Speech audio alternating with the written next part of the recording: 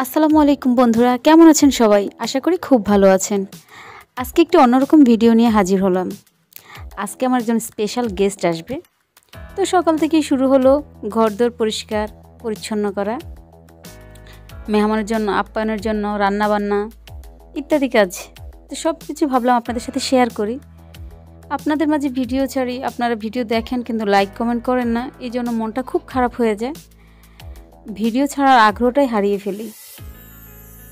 তো আজকে আমি আমার সেই স্পেশাল মানুষটাকে নিজেই রিসিভ করতে যাব। ও ট্রেনে আসবে। তো সম্পূর্ণ ভিডিওটা দেখবেন, আশা করি ভালো লাগবে। আর আমার সাথেই থাকবেন। এখন আমার ঘরদোর গুছানো শেষ। এখন চলে যাব রান্নার পালায়। এখানে রান্নার জন্য চাঁদপুরের তাজা ইলিশ পুকুরের তাজা মাছ। এছাড়া মেহমানের জন্য ইত্যাদি ইত্যাদি সব তো দেখানো সম্ভব না। যেগুলো টাটকা বেশি, ওগুলোই দেখালাম। এগুলো পুকুরের তাজা মাছ। তো এইসব দিয়ে আমি ছটপট রান্না করতে দিয়ে আমি ছটপট রেডি হয়ে গেলাম ওকে আনার জন্য।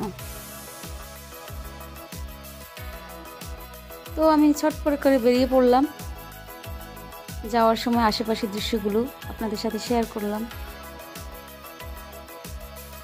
এই যে এটা আমার স্কুল বাল্যকালে প্রাথমিক শিক্ষা আমি এখান থেকেই গ্রহণ করেছি। এটা আমার স্কুলের পাশে একটা মসজিদ। খুব সুন্দর মসজিদ। তো বন্ধুরা, ভিডিওটা একদম শেষ পর্যন্ত দেখবেন না টেনে। আপনাদের কাছে ভালো লাগবে আশা করি।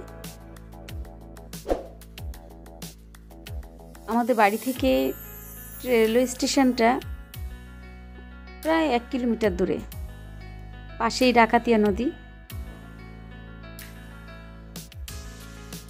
নদীর দৃশ্যগুলা খুব সুন্দর। এখানে একটা ইটের ভাটা, এখানে ইট তৈরি হয় ব্রিক ফিল্ড নদীর পরে এসবগুলো দেখা যায়, কারণ ব্রিক ফিল্ড ব্রিক ফিল্ডের জন্য নদী পথটাই সবচেয়ে বেশি উপযুক্ত। তাই নদীর পাড়ে এগুলো গড়ে ওঠে। অবশেষে আমি চলে আসলাম রেলওয়ে স্টেশনে। এসে দেখলাম জনমানব শূন্য, তেমন কোনো মানুষ নেই। কিন্তু একটু পরেই সবাই চলে আসলো। যথাসময়ে যেহেতু আমার একজন গেস্ট আসবে তা আমি একটু আর্লি চলে আসলাম। কিন্তু এখানকার মানুষ তো ট্রেনের টাইম জানে, তাই তারা তাদের সময় মতোই ঠিক টাইমে চলে এসেছিল।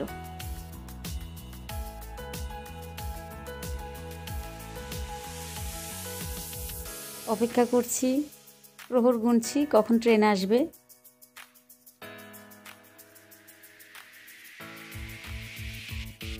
আস্তে আস্তে মানুষ আসা শুরু করল।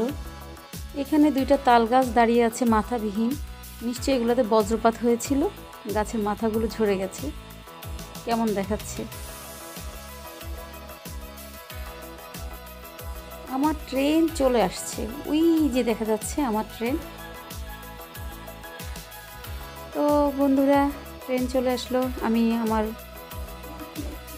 সেই মানুষটিকে রিসিভ করলাম, কিন্তু পুরো ভিডিওটা দেখাবো না, তাহলে ভিডিওটা অনেক লম্বা হয়ে যাবে।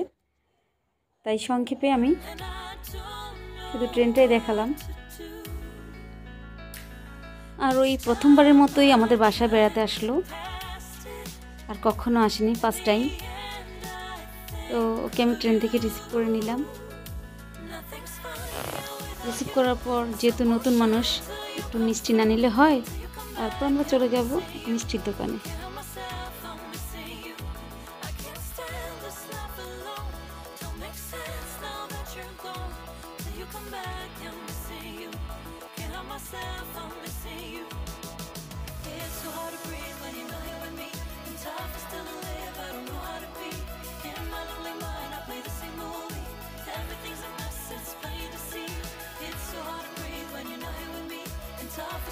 অবশেষে চলে আসলাম আমরা একটা মিষ্টির দোকানে। এখানে নানান রঙের মিষ্টি কোনটা ছেড়ে কোনটা নেই সবগুলোই খুব লোভনীয় ছিল। তো অবশেষে কয়েকটা সিলেক্ট করে নিয়ে নিলাম। কতক্ষণ দাঁড়িয়ে দেখলাম বাহারি রঙের মিষ্টি। শুধু মিষ্টি নেই নেই, সাথে দধি আর ফলমূলও ছিল। এখানে প্যাকিং চলছে। তারপর আমরা আমাদের সব কেনাকাটা কমপ্লিট করে সরাসরি চলে যাব বাসায় এবং বাসায় গিয়ে আমাদের অতিথি আপ্যায়নের পর্বটা দেখাচ্ছি। অতিথি আপ্যায়নের জন্য নানান রকমের খাবার দাবার ছিল, ইলিশ মাছ, আস্ত মুরগি, ভর্তা, ডিম, চিংড়ি, দেশি মুরগির রোস্ট গরুর মাংস, সর্ষে বাটা ইলিশ আরও অনেক যাই হোক বন্ধুরা, ভিডিওটা আজকে এ পর্যন্তই। ভালো লাগলে লাইক এবং শেয়ার করবেন। খুব ভালো থাকবেন। আর সাবস্ক্রাইব করে বেল আইকন বাজিয়ে আমার পাশে থাকবেন। আল্লাহ হাফেজ।